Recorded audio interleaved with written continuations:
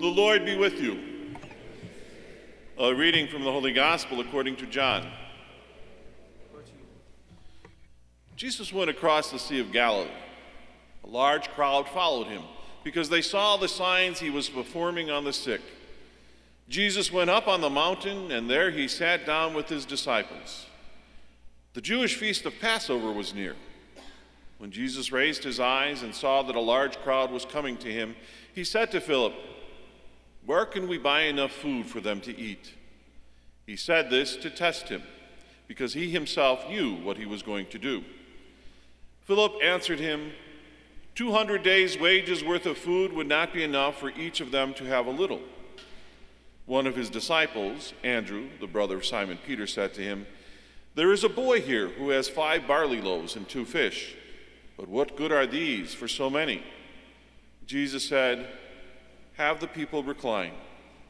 Now there was a great deal of grass in that place, so the men reclined, about 5,000 in number. Then Jesus took the loaves, gave thanks, and distributed them to those who were reclining, and also as much of the fish as they wanted. When they had had their fill, he said to his disciples, Gather the fragments left over so that nothing will be wasted. So they collected them and filled twelve wicker baskets with fragments from the five barley loaves that had, that had been more than they could eat. When the people saw the sign he had done, they said, This is truly the prophet, the one who is to come into the world. Since Jesus knew that they were going to come and carry him off to make him king, he withdrew again to the mountain alone. The Gospel of the Lord.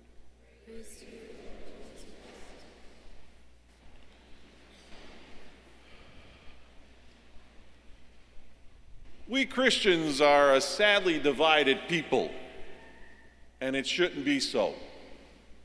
The history of Protestantism, especially, is the story of dispute, disagreement, and division.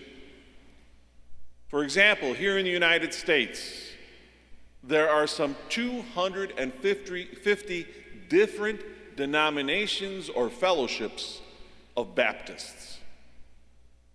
We Christians are Catholic and Protestant, Orthodox, pre and post millennial, Arminians and Calvinists, traditional, and contemporary, conservative, and liberal. It's okay to have differences. That's part of what it means to be human.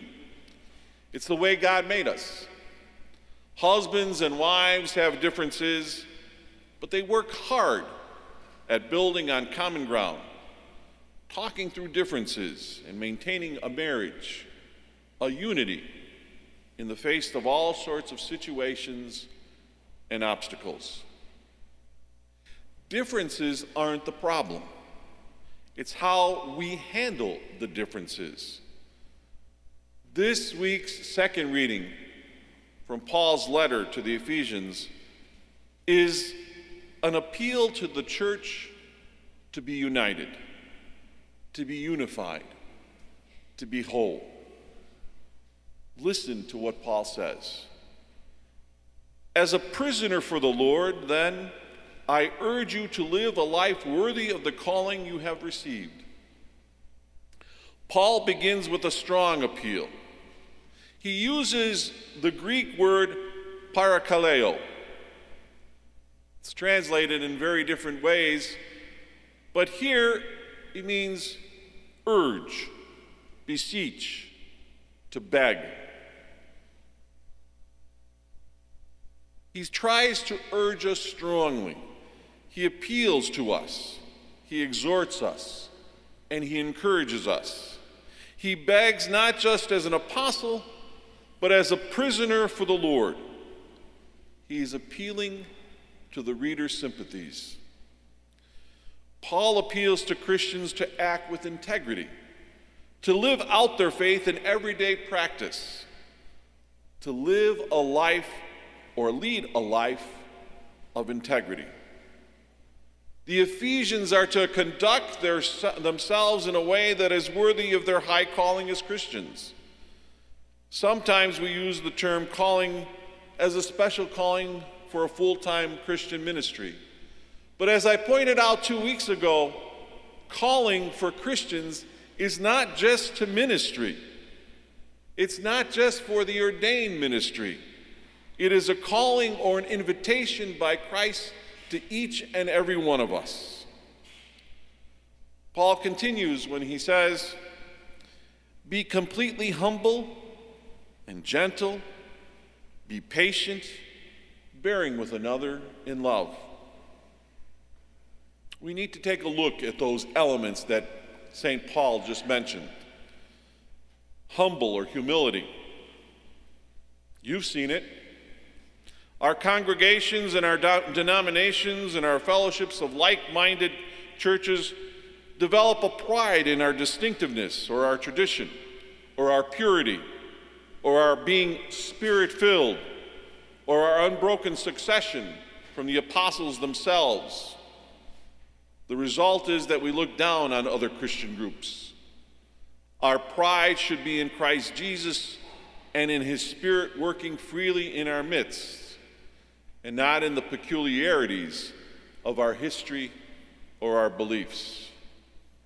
When we glory in Christ Jesus, then rather than in ourselves, then we can say we have true humility. And that humility is required to keep unity in Christ's church. The second element that Paul gives us is gentleness. It's hard for us to understand meekness and gentleness, but the definition, the quality of not being overly impressed by a sense of one's self important, rings true. You've met them, and I've met them. Maybe we're even those persons ourselves.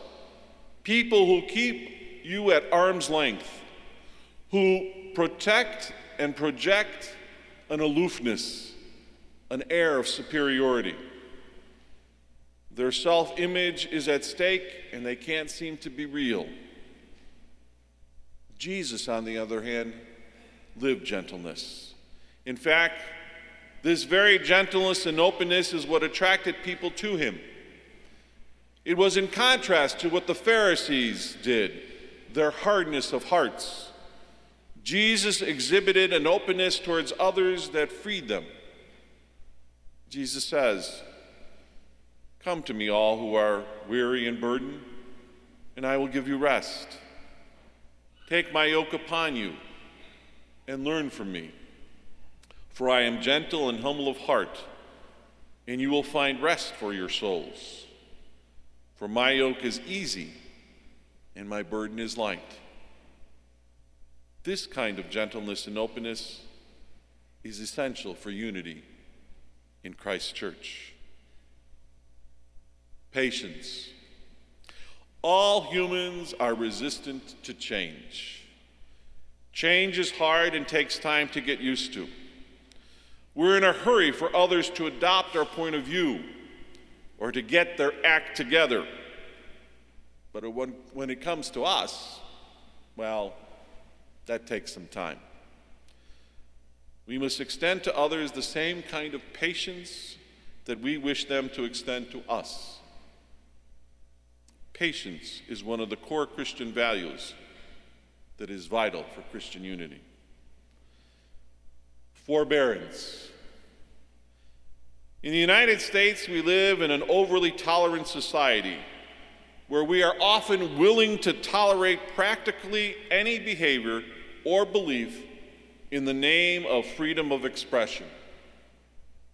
But in the church, the pendulum often swings very far in the other direction. We are intolerant of other points of views, of other interpretations, of eccentricities, or of differences. Over the years, I've had the luck and the joy of participating in churches of many widely different points of view. I found that fundamental churches can be intolerant. But even liberal churches, which pride themselves on their tolerance, can be intolerant of those who disagree with them. We are called as Christians to endure to bear with, and to put up with one another. We may not be terribly comfortable with others, but our job description is to bear with one another. Look at Jesus. He put up with Peter's impetuousness, with James's and John's pride, and with Thomas's unbelief. Jesus had his eyes on what they could become, not on their immaturities and blind sides. Forbearance and tolerance are necessary for the unity of Christ's church. Love. The Greeks rarely use the word love. They have several different words that describe different kinds of love. But the Christian writers use the one that is pronounced agape. It was selected to describe the particular quality of Christ like, unselfish love that looked out for others' needs rather than for one's own. Love is the last quality in Paul's list of essential attitudes for unity, but it is also the most encompassing. Later on in Paul's letter, we hear these words which have become so very familiar to us because how often they are used at weddings.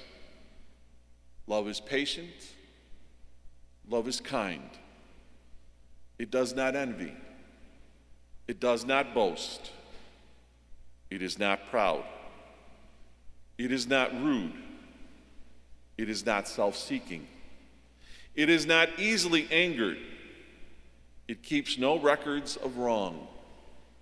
Love does not delight in evil, but rejoices in the truth. It always protects, always trusts, always hopes, always perseveres. Love never fails. And now these three remain faith, hope, and love. But the greatest of these is love. Sometimes we find justifications in love for our divisions and separations, but too often we are unwilling to go to the limits to, to, to the limits of love to maintain unity. Sometimes we may find it easier to say that we love the other person, the stranger. But are we willing and able to love the person that is sitting next to us? Are we able and willing to love the person that we live with? And are we willing and able to love ourselves?